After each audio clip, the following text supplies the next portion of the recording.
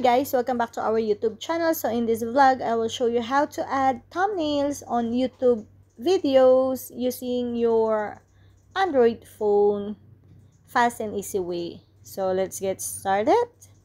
So first, you have to verify your YouTube account. So for you to able to custom your thumbnail. So if you verified it, let's go to our YouTube Studio application. Alright, so here is my YT Studio apps. So you have to click it and you have to sign in to your YouTube channel.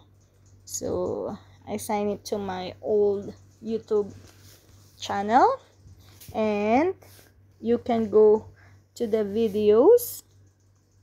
Alright, so click it and you will click the pen or the pencil sign. All right so click. Then click again.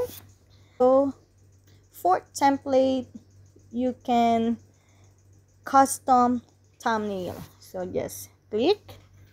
And it you it will goes to your phone files so you can choose your thumbnails there.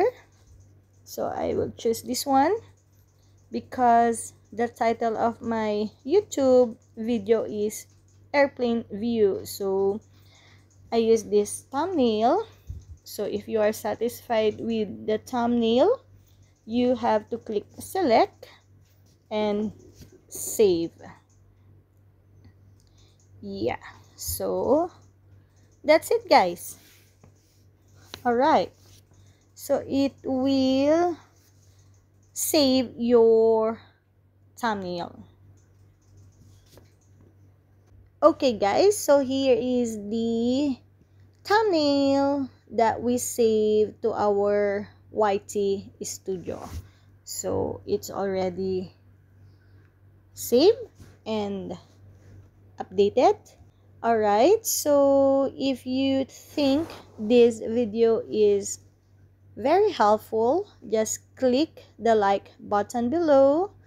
And if you are new to our channel just click subscribe and hit the notification bell for more updates. See ya